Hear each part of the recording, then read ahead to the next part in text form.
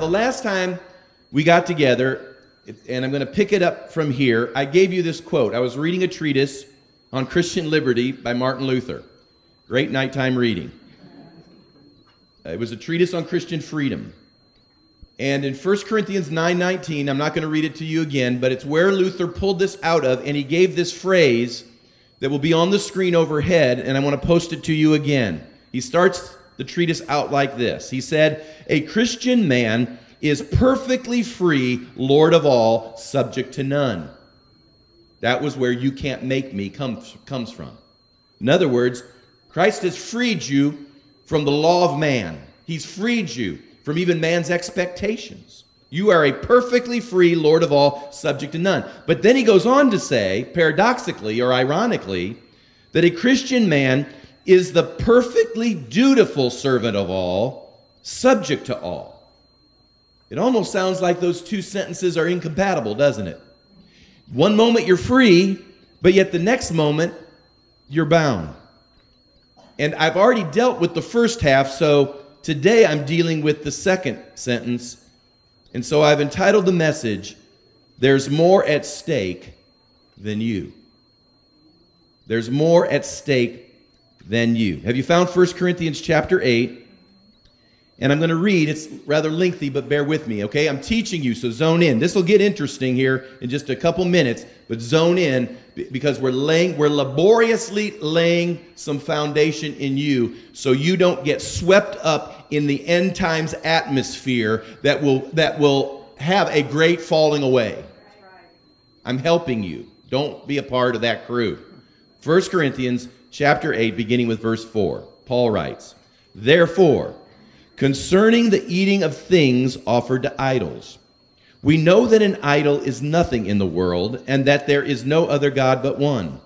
For even if there are so called gods, whether in heaven or on earth, as there are many gods and many lords, yet for us there is one God, the Father, of whom are all things, and we for him, and one Lord, Jesus Christ, through whom all are all, excuse me, are all things, and through whom we live. However, verse 7, there is not in everyone that knowledge. For some, with consciousness of the idol, until now eat it as a thing offered to an idol, and their conscience being weak is defiled. But food does not commend us to God, for neither if we eat are we the better, nor if we do not eat are we the worse. But beware, lest somehow this liberty of yours becomes a stumbling block to those who are weak. For if anyone sees you who have knowledge eating in an idol's temple, will not the conscience of him who is weak be emboldened to eat those things offered to idols? And because of your knowledge shall the weak brother perish for whom Christ died. Listen to verse 12. But when you thus sin against the brethren and wound their weak conscience, listen to this, you sin against Christ. This is what you call a pregnant pause. When you sin against the brethren and wound their weak conscience, you sin against Christ. Therefore, Paul writes, if food makes my brother stumble, I will never again eat meat, lest I make my brother stumble. There's more at stake than you. Now, I mentioned because I've been preaching out of the Corinthian passages, and I told you that the Corinthian church had twisted about everything that could be twisted. And I gave you a long list of all the things that Paul was writing to them to try to untangle. They twisted everything, and they twisted the concept of liberty. They were not only sinning before God without any shame or without any embarrassment, but they were sinning all in the name of liberty. And their so called liberty was causing new believers and immature believers to be offended and to stumble in their faith. And so Paul begins to address this and he brings up the most immediate need, and it was concerning their meat eating. Now, I wanted, you know, I, I, couldn't help but do this. I wanted to really call the message today, What's the Beef with Meat? But I didn't do that. But we do need to talk about what's the beef with meat? What's wrong with meat eating? You know, I also thought about saying there's more at stake than just you and spell it S T E A K, but I, I didn't do that either. You know, Corinth was a city, it was a Greek city, a port city. It was known for its pagan temples. And it was standard operating procedure in those days that when a person would come to worship an idol, they would bring a sacrifice. And so that sacrifice would be offered, and the meat of that sacrifice would be used for numerous purposes. Some of it would be burned on the altar as the sacrifice to the false god. Uh, some of it would be retained by the workers of the temple for personal consumption. And the rest would be sold on the market for fundraising and profit. In fact, to be perfectly candid, most of the meat available in the market would have been meat that was offered to idols. Now, unless you were a farmer or a herdsman, the only access to meat you may have had is that which had been offered on the altars of an idol, and now it was being sold at the market. And so, as you might suppose, if you were a Christian, a conversation might begin to arise as to whether it was appropriate to be buying meat that had been sacrificed to idols. Should we be eating this stuff? Should we be even around this stuff? How about it?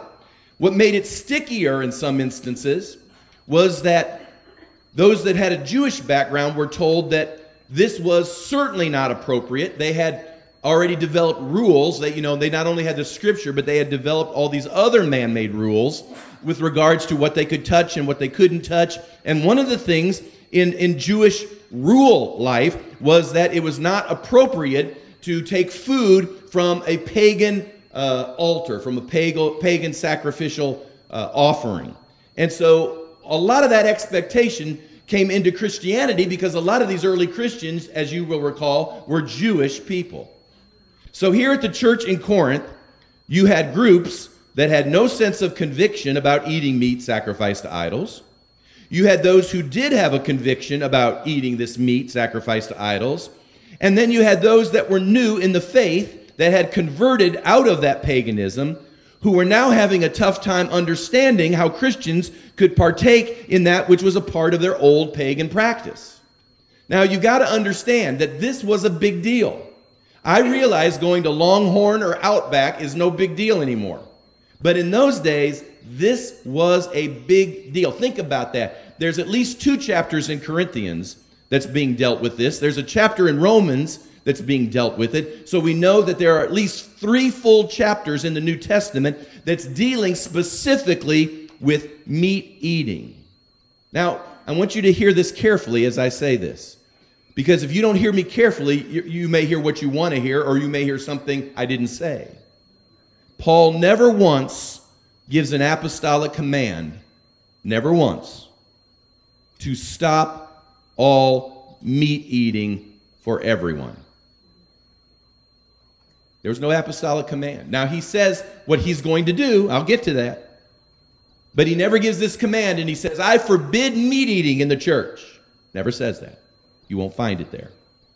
But what he does do is he begins to set up for the Corinthians this progression. He wants to help them understand how to begin to handle this meat eating issue. Because how many of you know this meat eating issue isn't going to be the only meat eating issue that's going to come their way? And so he goes through this progression, and I call it processing your liberty. Processing your liberty. How am I responsible with this freedom that I've now been given in Jesus Christ? So I want to process this with you, and then we'll make at least one application. In fact, it'll probably bleed over into next week. So you'll get two whole weeks of all this, this, this thought. Let's start with this. Let's define what meat means. What's the definition a kind of a definition we can pull out of this passage. This is how I would define it it's something that might be of legitimate use, but has culturally been abused or misused, making it questionable. Isn't that fair? Meat is something of legitimate use, but has culturally been abused or misused, making it questionable. Now, Again, I'm going to go down a list, and next week I'm probably going to talk about convictions, developing personal convictions, because we need to understand how this works within our liberty. So there's going to be a larger list of things next Sunday especially in our current culture, in our church culture, that I, I want to help you navigate your personal convictions on. So, so we got a big list coming next week. In fact, I'll just give you kind of a, a, a little taste. I'll market it. I mean, I mean, you know, there are people that have different views of things like dancing, drinking, smoking, movies, modesty, language, bars, clothes, tattoos. A lot of meat eating subjects out there, amen? I mean, things that can be legitimate, perhaps, and yet culturally they've been abused or misused that has brought them now into question in the minds of many believers. So, what do we do with all of this stuff? So, what does Paul begin to do? Well, I'm going to walk you through this, and then I'm going to walk you through one, and then next week we'll pick up some more. How does Paul evaluate meat eating? Number one, he says this meat offered to idols is just meat. How many of you realize today that that in your garage or maybe in a drawer somewhere, you might have a crescent wrench? And that crescent wrench can be used to fix a leaky faucet and stop the drips and bring your water bill down so that you can save more money to give to missions. Isn't that true? It's a wrench. Or you can go down with that wrench to your nearest quick shop. You can hit the cashier over the head with it, steal all the money out of the register, and wander down the road and say, My hasn't the Lord blessed me? How many of you know the issue is not the wrench? The issue is how the wrench is being used. Anything legitimate can be corrupted for illegitimate purposes. That doesn't make the thing that's being corrupted corrupt. And so Paul looks at them and he says this He says, Meat, hear me, meat is meat. All right? Now, it's being used wrongly, but meat is meat. Number two. He then tells them that God originates all things, including the meat. Now, we forget that the devil didn't create meat, did he? God created meat, he created the animals. And what does the devil do? The devil doesn't create anything. He comes in and he takes what God has created and he twists its usage. In fact, God created, I'll just start going down the list. God created hops, which make beer. God created corn, which makes Kentucky bourbon. God created tobacco. You know that. God created hemp, which was, I think, for rope. He created all the plants. And then he looks at us and he says, has dominion over the plants. That's what he calls us to exercise dominion over the plants. But the problem is the plants exercise dominion over us. People are addicted to certain things. So, but God created this. When he's calling us to exercise dominion, we allow, we allow the things to exercise dominion over us. But God created and he originated all things, including meat. Number three. Paul says, not everyone has the same maturity level. Now, what may be meaningless to some of you may not be meaningless to someone else what may be understandable to you may not be fully understandable to another person.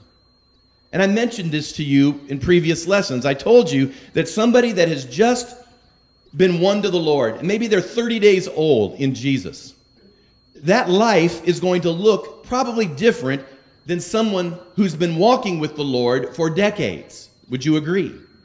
We would hope that the person who walked with Jesus for decades has a life that's been fruit bearing that reflects those decades of walking with him. Now, the 30 day year old one hasn't got that much time under their belt. Now, the only thing that causes us to be similar, whether you're 30 days old in the Lord or whether you're 30 years old in the Lord, the thing that's similar should be our passion to want everything He has for us, to do whatever He says, to be obedient without discussion, to follow Him fully. Those two things we can be on equal footing no matter how long you've been walking with the Lord. But we realize, saying that, that not everyone has the same maturity or application levels as maybe some of us or, or maybe you do. Number four, Paul says that meat really is not the root issue. he goes on to say that abstaining or eating the meat, he says you're neither better for it or, or, or you're neither worse. He says it's not good or it's not bad. He says meat is not the root issue. Now, now I'm going to put this just in the easiest vernacular I can. You don't get extra points for eating or not eating.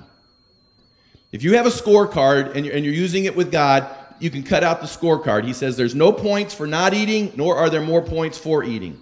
In fact, Paul never made meat eating a heaven or hell issue.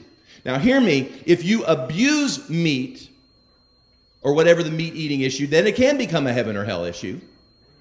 But meat in and of itself, as a legitimate issue, he says it, you're neither better for it or worse for it. It's neither good nor bad. You're not getting more points or less points. It's not a heaven or hell issue.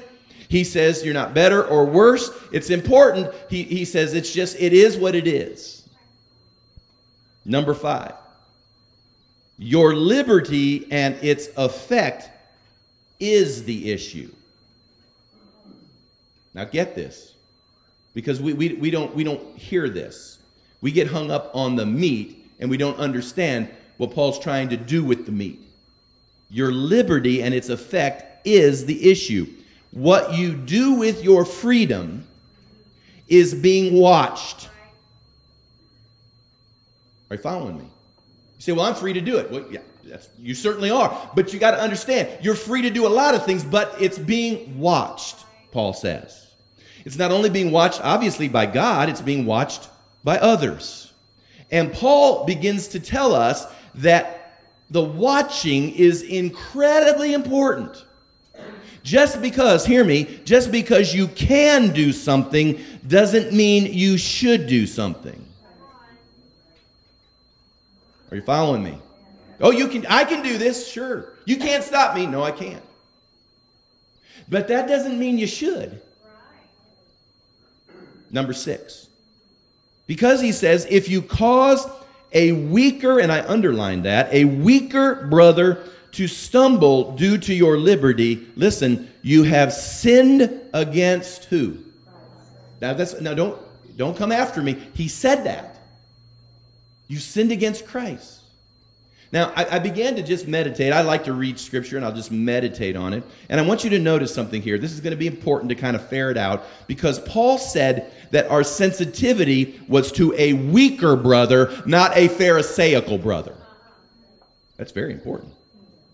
A weaker brother, not a Pharisaical brother. You know, years ago, I'll just tell you just a couple stories in, in this area.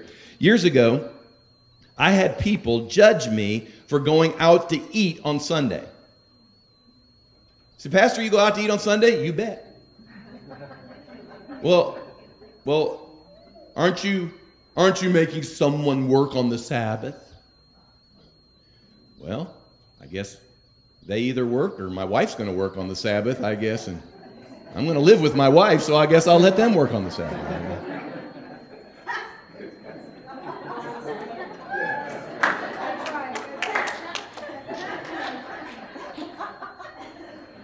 See, that was their that, that was in their in their thoughts. Now hear me when I say this. It wasn't a weaker brother. That wasn't a weaker brother. That was a Pharisaical brother there. You know, I, you know, I could have read to him out of Colossians where Paul said, "You know that Sabbath stuff you used to do, it's gone." So there's there's there's some liberty. I, I remember, uh, Trace, you'll remember this when you were judged for wearing colored hose. It was back in the years. These are back in the '80s you know, when women would wear these like light colored hose, and I think you had some like little pur- purple hose and pink hose, light pink hose. And, and then there was there was some that came up and they told her that they were, that she was the worldliest woman they knew. Just makes you grin nowadays. Now you see that was see her hose wasn't an issue for a weaker a weaker sister. Her hose was aggravating a religious spirit. Are you following me? Now I'm going to get back to here. I know, and I'm glad you're amening me, but get ready. Your amens. We're about ready to shift to some oh my's here in just a moment. See, see, liberty, our liberty in those issues were not making their weaker conscience wounded. It was making their religious spirit irritated. Now, hear me when I say this that, that there's a legitimate place of, of having to evaluate and filter your liberty in the light of, of offense around you. And, and let me just tell you, those that are going to the mission field, you have to get a hold of this because sometimes, and again, I think it's wonderful that women can wear pants and shorts and skirts, and I mean, just put more clothes on usually. But but but you go to some areas, and a Christian woman has to have a dress on because they don't understand it any other way, and we yield to that culture in order that we might win people to Jesus. So, under, so, so I understand this has to be navigated in nuance, but I'm just telling you, Paul never said that we yield to religion. He says you yield to the weaker brother. Very important. So be careful. Be careful as you begin to navigate this. Because sometimes, you know, in other cultures, we become familiar with things. See, for instance, I know Australians use words in the pulpit that we would never think of using in this pulpit. I mean, bad words. But that's just their vocabulary. They don't think about it. I mean, you listen to some pastors in Australia and they say things that'll make you go, whoa. I say a lot, but I don't think I could get away with saying that. And, and so they have to, and, and you'll hear them say when they come to America, they have to readjust themselves in order that they don't offend, you know, massive amounts of people by the use of their vocabulary. Because that, that can be a cultural thing. But hear me when I say this, is that Paul said again, we yield to a weaker brother, not necessarily a Pharisaical brother. Number seven, why? Because there's more at stake than your personal liberty. There's more at stake. The question always arises as to why I might have to yield to a weaker brother. Why? Here's, here's what I, this is, I'm telling you, this is how I think sometimes. I'll just be honest. Is that okay? See, I'm still on the burnout side of sabbatical. I've not rested yet and, and come back all, so I'm going to milk this burnout for as long as I can. There are times that I just want to say, grow up. Why don't you just grow up? Get over it. Hallelujah. Don't you know that, that, that the Christian man is a perfectly free Lord of all, subject to none? I don't have to live under your stuff. I don't have to live under your immaturity. I mean, I like Luther at that point. But you've got to understand that the reason we yield to the weaker brother is because Jesus ostensibly told us to when he said that all the commandments hinge on two. The first one being to love the Lord thy God with all thy heart, soul, mind, and strength, right? And then he says the second is as the first. And that's what? To love your neighbor as your. So, in other words, you are not an island unto yourself. You have a responsibility to your neighbor at some levels. And we have a responsibility as believers who say we are maturing to ask ourselves is, is our life causing people to stumble? Because if it is, what we're violating is this we're violating the law of love. You, you want to talk about love in a culture that always tells us that we don't love people? Listen, love means that you yield in such a way that that there's nothing that can offend that can come through you except the truth. So you may be free to do numbers of things, but it has to be filtered. Your freedom has to be filtered through what repercussion that liberty you're wanting to exercise may release. Are you following me? That's why maturity's hard because you just don't go stumbling out. You, you pray about things. God, is this really what you want me to do? Is this really what you want me involved in? Is this really where you want me to go? Is this really something I should say? You know, all of a sudden we have to be sensitive to the Holy Spirit. Because just because I can doesn't mean I should. Now, this whole progression begins to, I think, help us filter through how we're to handle personal liberty and how we begin to develop convictions which we're going to talk about next week, you're going to understand that everyone in this room is going to have different convictions. You may be convicted in one area that I may not be convicted in. I may yet get convicted in it. God may talk to you about something that He'll talk to no one else about. Just because He spoke to you about something doesn't make that a mandate for the whole body of Christ. It may be your mandate, and we'll rejoice. So we've got to understand that that all of these things are going to be working uh, together. But, but I want you to begin because as the culture gets darker and darker and darker, and as more abuse comes to things that are legitimate. Man, folks, people abuse Drano. They make, I think they make meth out of Drano. Well, we just all ban Drano. You better not have Drano in your house. You see what I'm saying? So we've got to learn how to process this. We've got to get mature. We've got to grow up. We can't act like kids, you know, in candy stores and we just blindly stumble into everything. We've got to grow up and begin to filter and say, "Lord, maybe maybe I can, but really should I?" Because in much the same way as Corinth found a problem, the American church has taken on many of the exact attributes of the Corinthian church. We have twisted and we have misunderstood the principles of personal freedom with regards to 21st century meat eating issues. So I'm going to tackle those these next two weeks, but I can only tackle one this morning. And, and it's the biggie, it's the big one. And there's a number of them that we're going to, and we'll laugh along the way, hopefully. And hopefully you'll find out that there's no mandate coming from this pulpit, but I am becoming ruthlessly biblical.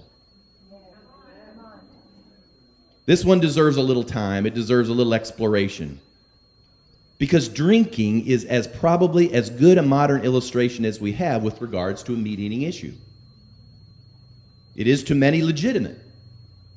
It has legitimate issues, legitimate uses. But can we at least also acknowledge that it's been abused and misused by some too? So it has some of those analogous qualities with meat eating, right? It, it's something that has legitimate use, and yet we all know that there has been abuses that have taken place with it. And so we have this big discussion that takes place within Christian circles as to can you or can't you or when or how or what or this or that or the other. Hey, I just want to start there to help you mature to begin to filter through how this works, I, I think works in a believer. Now, those of you that have journeyed with me any length of time sort of know where I land already. You've heard this on more than one occasion. I got I've got some convictions. The Lord has spoke to me, spoke to my household. And, and my convictions obviously are pretty strong.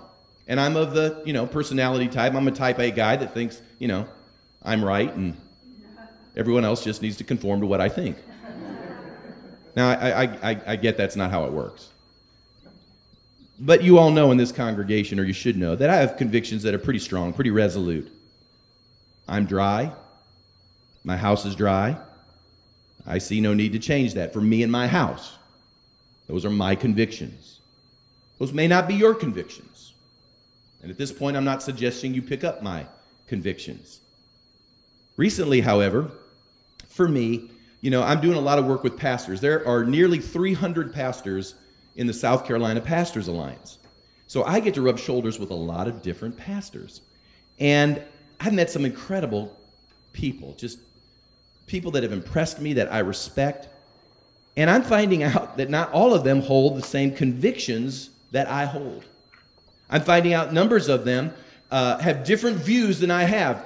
Surprise, surprise, I am not the center of the theological universe. And some of that has caused me to begin to reflect. In fact, probably for a couple years, I've been chewing and reflecting on all of these concepts of liberty. What's, what's a, a legitimate biblical expectation for a believer? I mean, does a glass of wine with a steak really disqualify you? I, I, I mean, does a beer and a pizza send you to hell?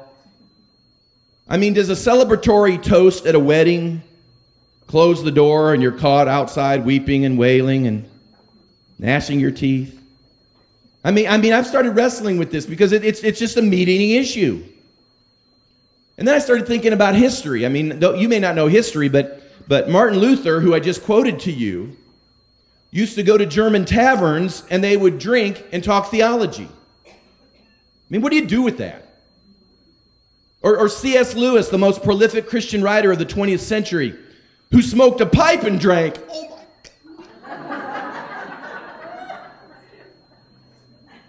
or Spurgeon. I'm going to tell a really funny story next week about Spurgeon, but Spurgeon loved his cigars, and we quote Spurgeon. And I started thinking about all these things, and I thought to myself, Lord, I know these people. I'm not even sure I'd have them in my pulpit. And the Holy Spirit just started working on me a little bit. Now, Don't think I've changed anything. I'm just, I'm just, I said I was going to be ruthlessly, listen, I said, yeah, you're laughing. Some of you know he ain't changing. He ain't, he ain't going to change. I'm going to be ruthlessly biblical. I am well aware that when it comes to alcohol consumption that there are verses in the Bible that can prove any point. Some verses, and of course you got to get the context of all these verses, but there are verses literally in the Bible that are for it. I could, I could take you and read you verses. There's a verse in Deuteronomy that actually tells God's people that there are certain times you need to go and uh, actually pull the wine out and you need to throw a party and just have at it. That's in the Bible. Now, I, I think God would have done better if he would have checked in with me before that went in the Bible. But, none, but anyway. But that's in the Bible. So there are verses in the Bible that say that you can do take a little wine for your stomach's sake. A lot of stomach problems in America these days, But take a little wine for your stomach's sake. There's it's there. I mean, I fully, I fully stipulate there are a number of verses that say it's okay. You can do this. Now, let's also agree there are numbers of verses that say you really ought not do this. I mean, numbers and numbers of verses that say this shouldn't be happening. So, what happened is, especially in church life, because of the ambiguity, I, I, I, basically mapped out four positions that Christians take with regards to their liberty on this issue. The first one is prohibition. There's absolutely no place, no alcohol for any believer at any time, at any moment. You can't do it, no way, no how. That's one position. Prohibition. Don't do it, stay away from it. The second position is abstention. Well, the Bible may allow its usage, but there's voluntary withdrawal from its usage. In other words, what I've been kind of saying, you can, but should you? Number three is exception. Most of life, they may abstain, but perhaps on a special occasion, there might be a slight to moderate amount that could be consumed for a wedding or an anniversary, something like this. And then the fourth area is what we would call moderation, which means that there are those believers who would normally use alcohol, and it's permitted as long as one avoids drunkenness. Now, I want, I want, I want you to hear this carefully. The Bible calls drunkenness sin. You cannot, drunkenness, drunkenness, it doesn't matter how you view this subject. Drunkenness is out of bounds. Drunkards, the scripture is clear, will not inherit the kingdom of God. Now, hear me when I say that. Now, I always have people come up to me and they'll say, Well, what constitutes drunk?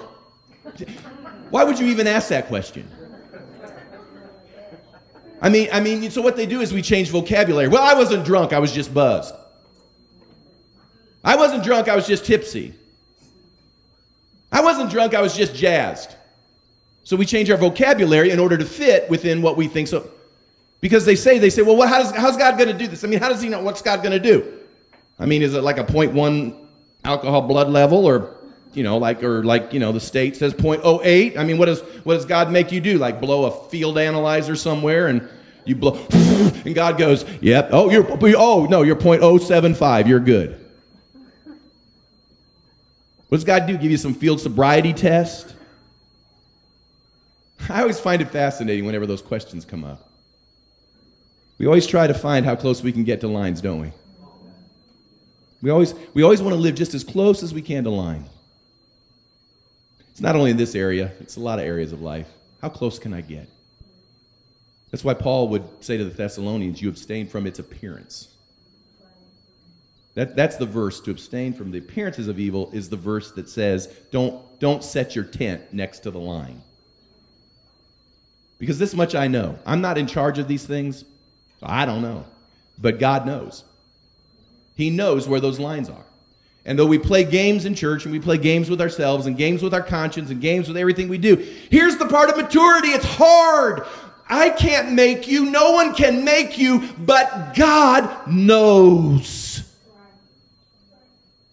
So, I have decided, to the best of my ability and with God's help, I'm going to live as consistently as I can. And since we're all Protestant, well, we should all be Protestants in this room, and uh, we all believe that there is a priesthood of the believer, that I'm going to help you work out this area with the Lord according to the scriptures. Because one of these days, uh, you're going to have to face this and you're going to have to ask the Lord where you're to land. That sound fair? Does it sound fair if I look at you and say, You go to the Lord and you find out where you're supposed to land? Is that fair? I think that's fair. I think it's very fair. So, how would Paul evaluate drinking, 21st century drinking? Well, let me just take you through it, and this is kind of what I came up with. Number one, alcohol, whether it's abused or misused for unrighteous purposes, is still just processed grain. Isn't that what he said? Meat is just meat. So that's what it is, it's processed grain. Like I mentioned above, you can abuse a Snicker bar. I know people that do abuse Snicker bars. I remember, I remember an evangelist in the old church we were a part of. He had to have been 500 pounds. You'd go into his hotel room after he left, and there'd be 10,000 Snicker wrappers. I'm not joking. As far as I'm concerned, that Snicker bar was heroin. And he died in his 50s. So I understand that, you know, smoking may not be good for you, and abusing alcohol is not good for you, but eating 10,000 Snicker bars isn't going to help you either. People abuse M&Ms. You can abuse you can abuse food. You can you can abuse anything. You can abuse NyQuil. You can abuse antihistamines. You can abuse airplane glue. You can abuse all kinds of things. So at the end of the day, alcohol are grains that have been processed through heat and distilling. Are, are you with me? Number two, I'm getting there. Hang on. Number two, God originated all the processes and plants involved in alcohol. Now, for those of you that have grown up dry and you've grown up in church and you felt like that was pretty much a, a standard issue, I'm probably stretching you at the moment. But just bear with me. I'm going to stretch everybody before it's over. I'm just saying to you, this isn't synthetic stuff. God put all this stuff in the earth. So you can't say corn is evil. Let's ban corn. Because there's people in the woods of Kentucky that make mash out of it, turn it into bourbon, and someone got drunk with it. Are you following me? So just because corn is used in that process doesn't make corn evil. God originated all of these things. They just put it in a metal bucket, they steam it, they put fire under it, and it happens. Number three. Remember, though, not everyone has the same experiences or maturity with regards to alcohol. Now we get to an important point. Some of you grew up in responsible homes. Maybe drinking was a feature of your home life and they did it very, very responsibly. It was something that was handled uh, maturely, adultly, legally, and a very responsible home. And, and that's great. If that's what you grew up in, that's great. But there are numbers of you, even in this room, not to mention those that'll be watching me and that I've met through the years, numbers of people that did not grow up in homes that handled that well. Some people grew up in homes where alcohol was handled, you know, very legitimately, and others saw it abused with unbelievable and unmentionable consequences. Some of you were beat within an inch of your life because of alcohol abuse. Some of you were sexually abused because of alcohol abuse. Some of you watched uh, parents and family members get thrown into jail and they lost their jobs because of abuse. Some of you have, have all kinds of stories that it wouldn't have been like that had it not been for the abusive use of something that may have had a legitimate place. And it affects your view of it. Well, let's just admit it. If you were beat your whole life from an alcoholic and abusive father, that's going to affect probably how you view drinking a beer. Are, are you with me? Sure, it would. Your experience is dictating a lot of what you're seeing. Now, understand where I come from as a pastor. Let's get back to just using me. As a pastor, for the most part, I've been doing this for 30 years. I have seen the carnage. It comes across my desk, it calls me on the phone. I'm the one that sees the violence. I'm the one that sees the prison. I'm the one that knows the DUIs. I know the death. I know the divorce. I know the bondage. I know the addiction. You don't know a thimble's worth compared to what I have seen. And it affects how you look at things. It affects how I see it. Because I'm the one that gets the phone call at 3 a.m. that's been told the person at one time, and I can tell you I've had this, church members who you thought were on target have been picked up for DUIs. I'm the one that gets the phone call. I'm the one that has to go home and tell the wife. I'm the one that has to keep the thing together. I'm the one that's trying to figure out how we're going to work through this. When all their friends, their Christian friends around them, are exercising their liberty and don't give a rip that this whole life is falling apart. I'm the one that's picking up the pieces. I'm the one that lets them sleep at my house. It affects how I view these things. Does that seem reasonable? I think it is. So, understand right now, I, I, not everyone has the same experiences with regards to alcohol usage. Number four, drinking or not drinking, however, is not the root issue. Now, this isn't, I'm going to tell you, just like Paul said it, it's not heaven or hell. If you go get a beer with your pizza, you're not on a bobsled for hell. I'm not that dumb. I'm brighter than that. You have a glass of wine with your steak at an anniversary celebration. You aren't anathema. You aren't disqualified. You cannot say with any integrity, and I'm going to I'm going to do my best to walk in scriptural integrity. You cannot say with any integrity and use your Bible and say that somehow or another, you know, one every now and then or on occasion is somehow harmful or sinful or even a problem. Hey, even Jesus turned water into wine, and I'm pretty sure he made it to heaven. So.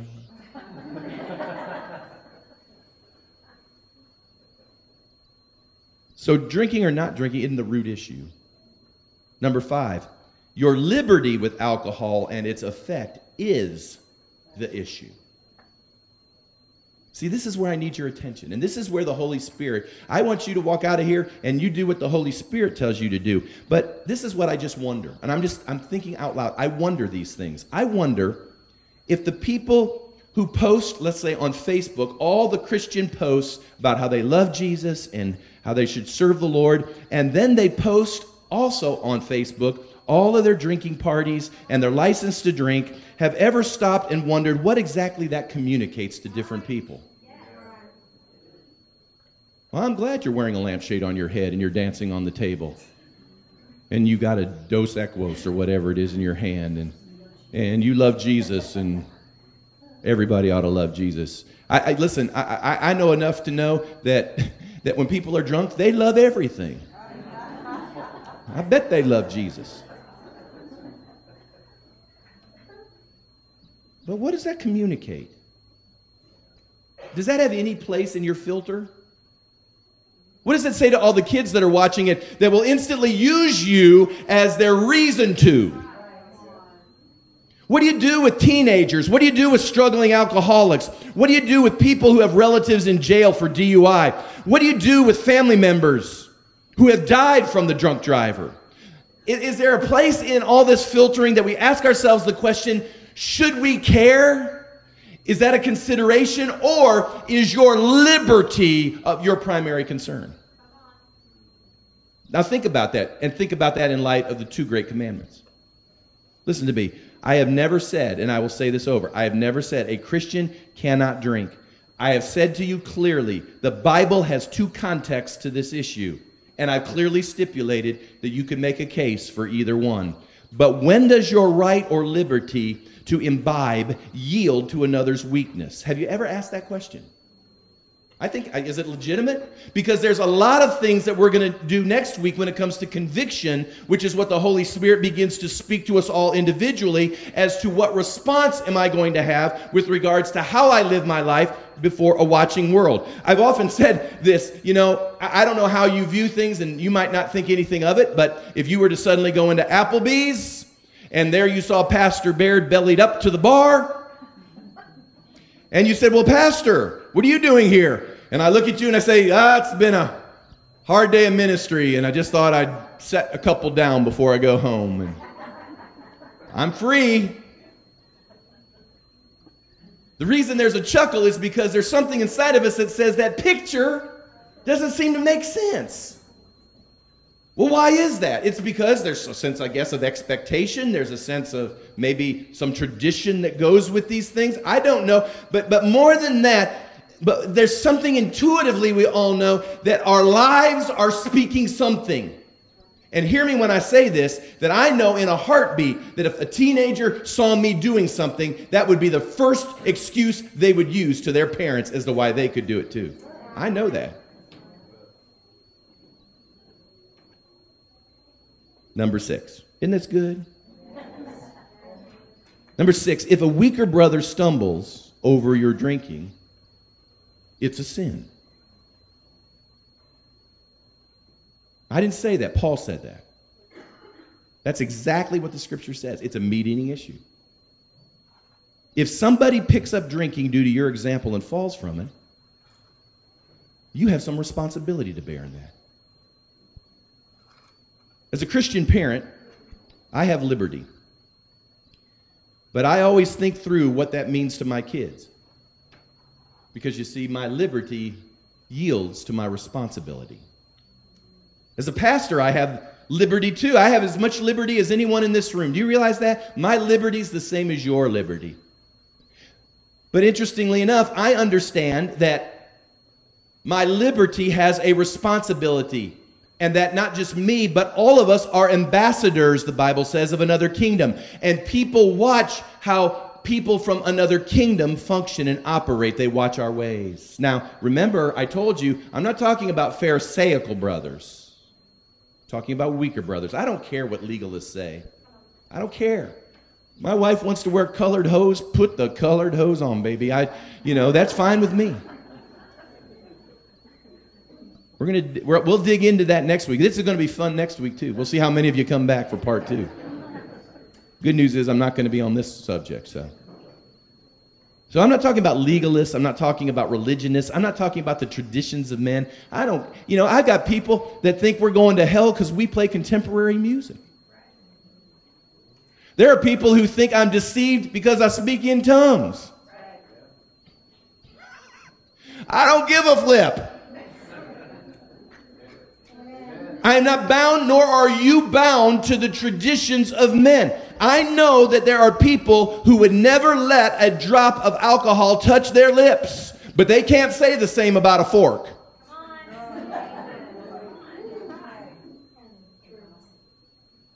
Or their gossip, or their division, or their stinginess, or their greed, or their slander, or their backbiting. Oh, but praise God, I've never drank a beer, but they've gossiped about the preacher. I would have soon they had the beer.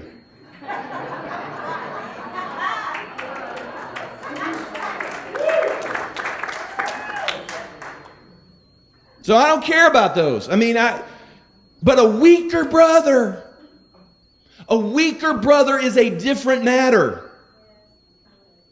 I have. I have a responsibility to circumscribe my life according to the scriptures and the leading of the Holy Spirit in such a way that nobody can use my life as an excuse to walk away from God. Now, I, am not perfect, nor do I think they have the ability to dictate every matter, but, but that, that is a part of the filter. We have a responsibility to the little ones. We have a responsibility to our kids and our children. We have a responsibility. You know how this works with kids. They seize on anything. Well, mom does it, dad does it. Why can't I do it? And normally they take it farther than mom and dad probably did it. Finally, number seven. And we're almost done. There is more at stake than your ability to have a drink. You see, maturity is really hard. There are lots of things I can do, but the question really becomes should I do it? And sadly, in our current church era, we have a generation that's far more concerned about their six pack than they are about winning a generation. We have a generation that to even suggest that they might consider not doing that would be, would be the height of legalism.